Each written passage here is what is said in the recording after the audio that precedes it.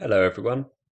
Now I feel that the most recent lectures we've covered in this course have been a little West European centered. So in the next few, we're going to mix things up a little and look at a part of the continent that we haven't covered as much yet, Southeast Europe. Today, we will be looking at the story of the Serbian Revolution and Serbian independence. There had been numerous independent Serbian states in medieval Europe. Indeed, there had been a princedom, a kingdom, and even a Serbian empire.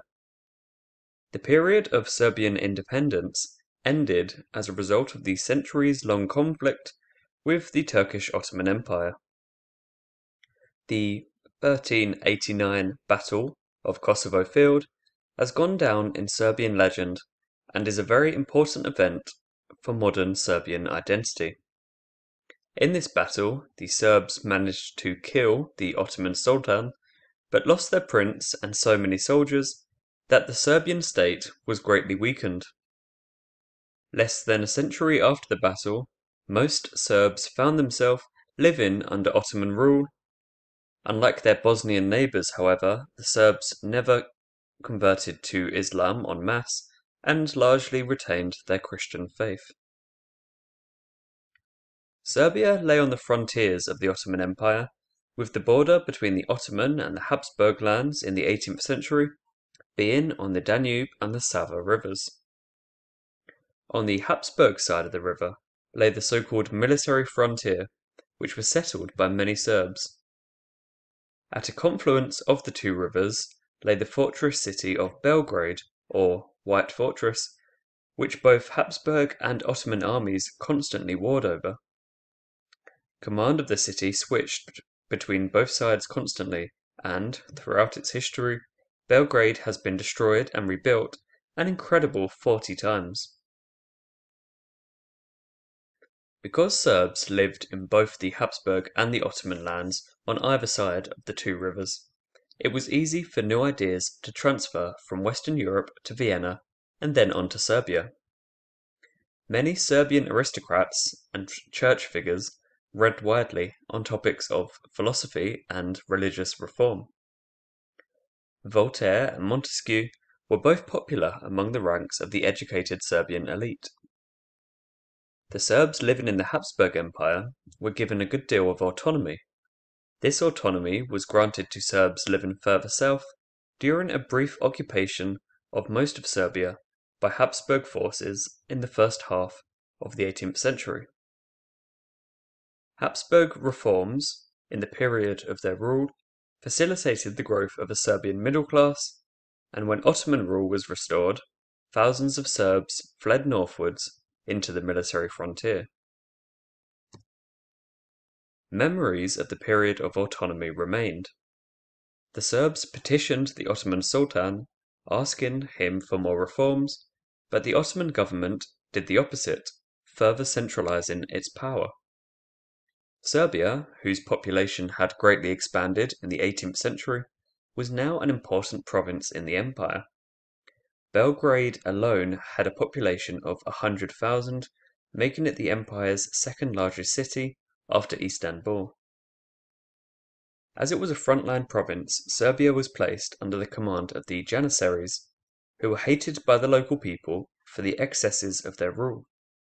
In 1801, the Janissaries, after a series of confrontations with the Ottoman governor, or vizier, murdered him and began ruling the province themselves, independent of Istanbul.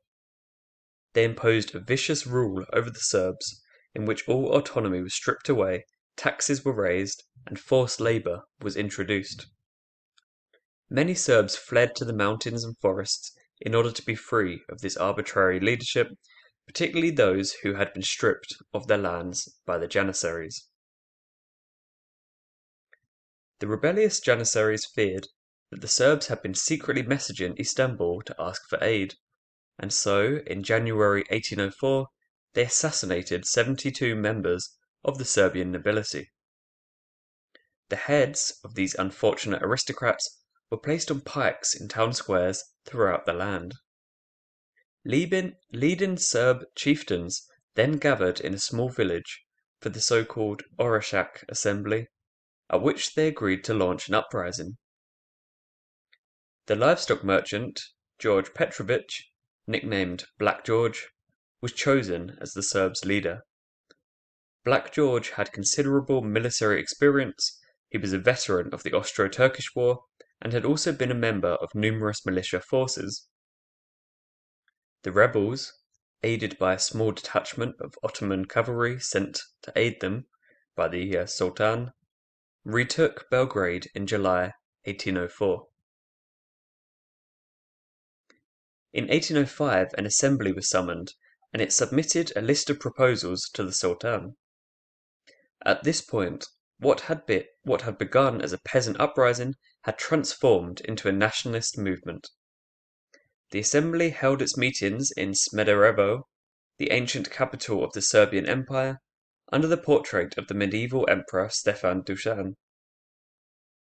Black George described himself as a Serbian commander and the Russians and the Austrians as potential saviors of our nation.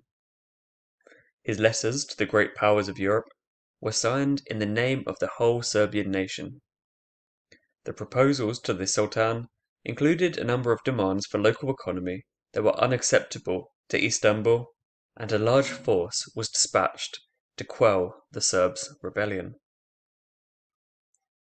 In the following years, the rebels succeeded in defeating the Ottoman army in a series of battles, despite being heavily outnumbered and outgunned. In 1806, the rebels had grown confident enough to announce the emancipation of all serfs in their lands and abolished all feudal dues to the overlord to the landlords.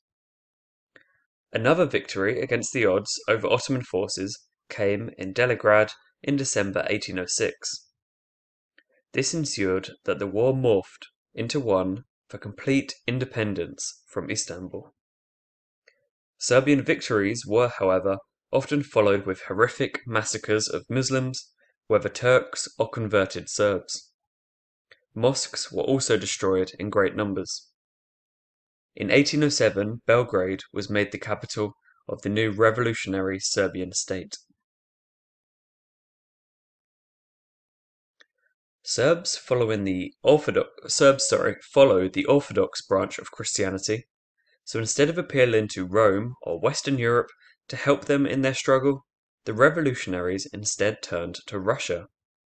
The Russians responded by sending an expeditionary force and declaring war on the Ottoman Empire.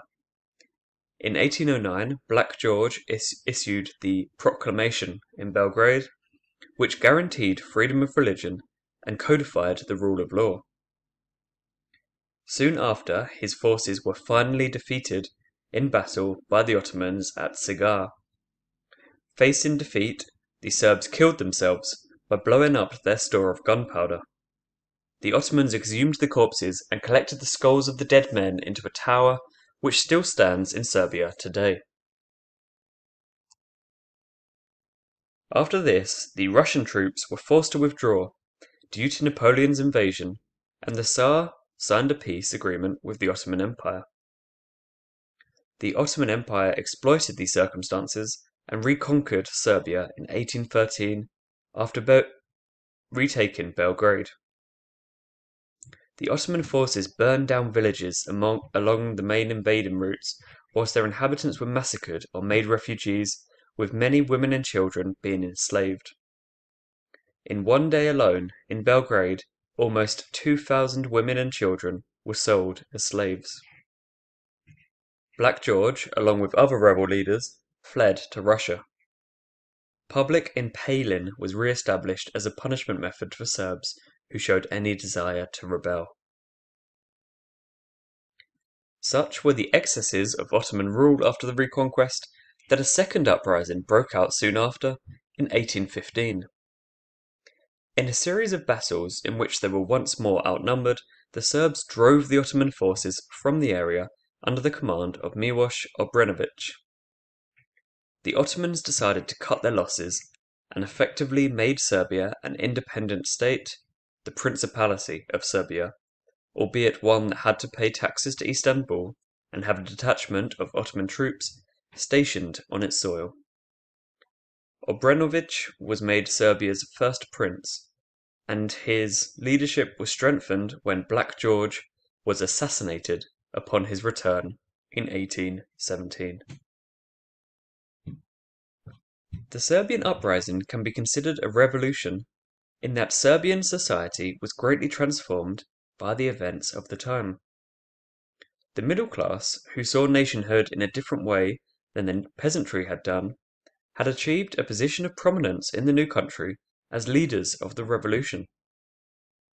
Another consequence of the wars was the extension and deepening of channels of communication between Serbs living in Serbia and those living in the diaspora.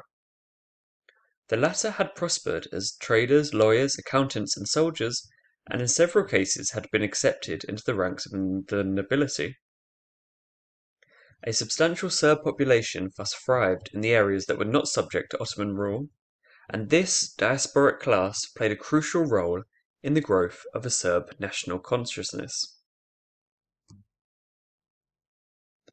Despite having achieved effective independence, many Serbian figures wanted more from their country, and longed for the day when all Serbs around Southeast Europe would be united under Belgrade's rule.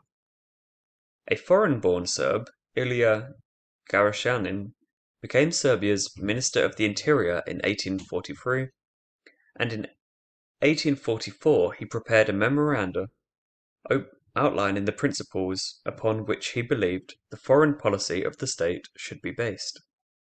In this document, known as the Draft Plan, Garašanin argued that the primary impediment to Serbian growth was its relationship with Austria, as the Habsburgs had a stranglehold on Serbian trade and exports.